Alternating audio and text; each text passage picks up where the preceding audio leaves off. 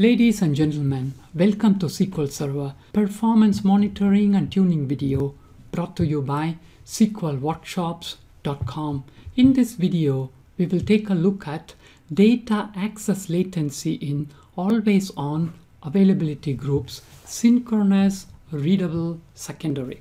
With always on availability groups, when you configure a secondary in synchronous commit mode for read-only access, there can be data access latency. What do I mean by this?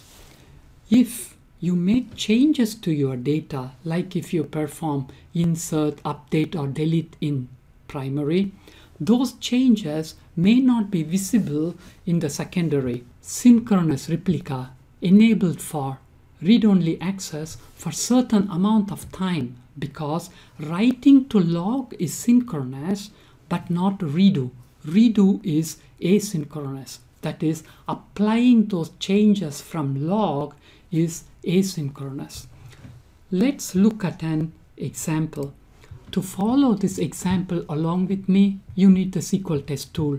To get the SQL test tool, you can go to the website sqltest.org and click on download.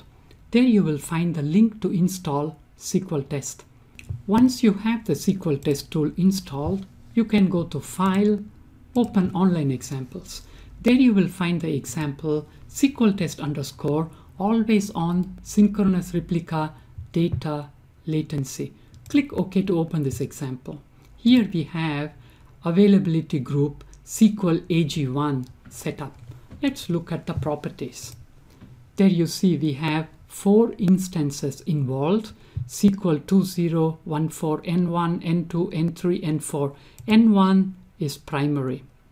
And we have all of them in the synchronous commit mode except N4 which is in the asynchronous commit mode and all of them have readable secondary enabled. Let's right click and look at the dashboard. There you see all of them are healthy. Now let's go to the SQL test tool and let's create the table. Here we are creating table tab 72 to practice this example. This table has three columns. Column 1 integer primary key. It is also an identity column. And then we have C2 and C3. C2 is integer, C3 is character 20.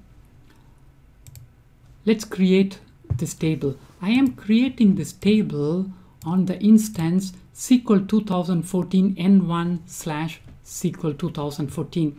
Normally when you open an online example, you will have the default connection string which is local.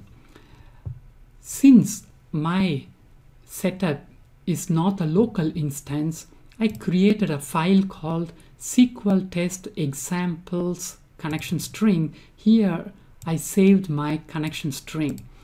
If you have such a file and you have a connection string there, every time you open the online example, it will take the connection string from there.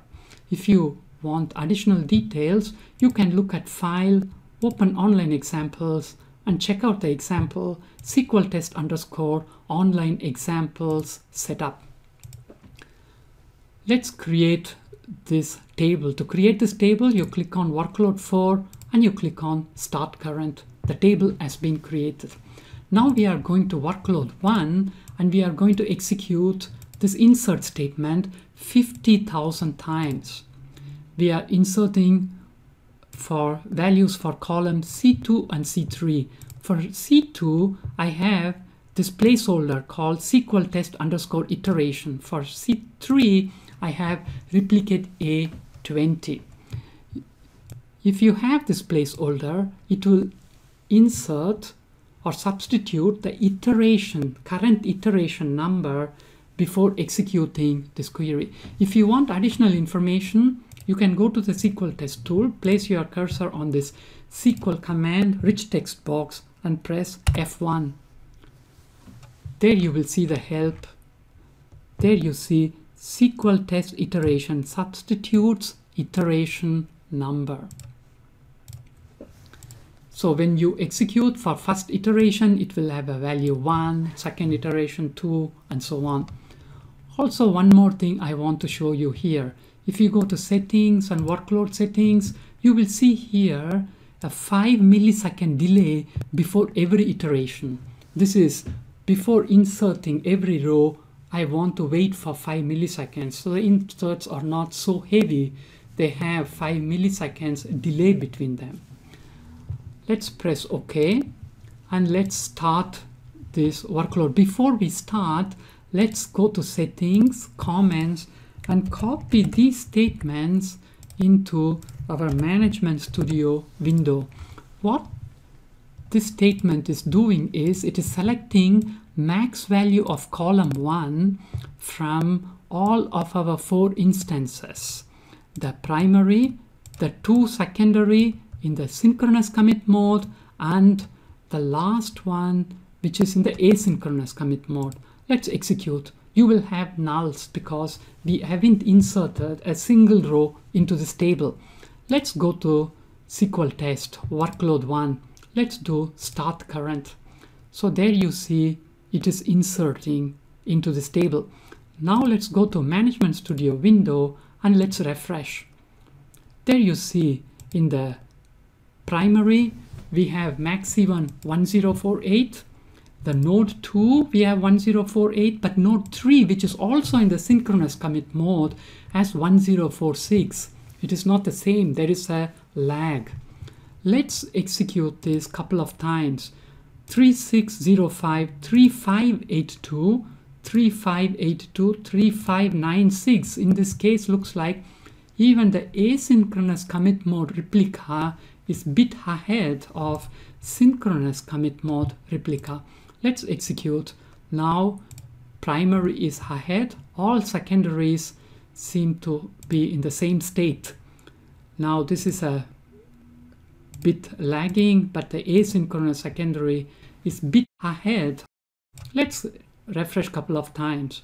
There you see even between these two synchronous commit mode secondaries there is difference in data Let's make a summary. When you have always on availability group with secondary replica in synchronous commit mode enabled for read-only access, there can be data access latency.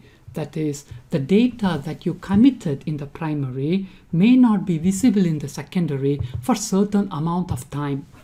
I have seen customers make architectural decisions assuming the data access is without latency and later discovering these issues.